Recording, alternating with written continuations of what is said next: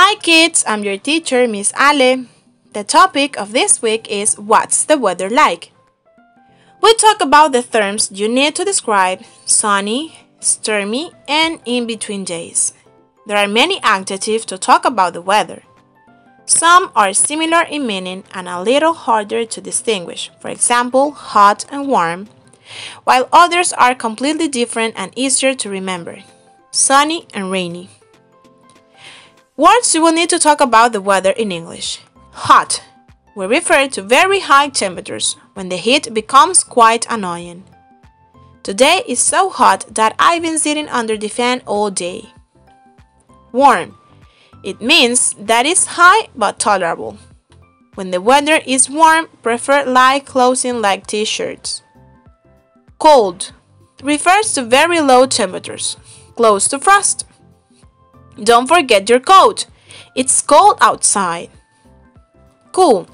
It speaks of slightly low climate, but that nothing else requires a light coat. On cool days like today, you should be fine with a light jacket. Sunny, when there is a lot of sun. Windy, refers to a fairly strong wind. Cloudy, it means that the sky is full of clouds and there is no sun. Rainy, when it rains a lot. Clear, it's a day with no signs of rain. Isn't it great that we are having such clear days this week? Dry, when there is no rain or moisture in the air. Bush fire are common around here when the weather is dry. Humid, the humid climate makes us perspire more. The weather's been so humid lately it's impossible to go outside without breaking a sweat. Foggy and misty refer to hazy conditions caused by tiny droplets of water in the air that make it difficult to see. Be sure to turn on your headlights when driving through foggy areas.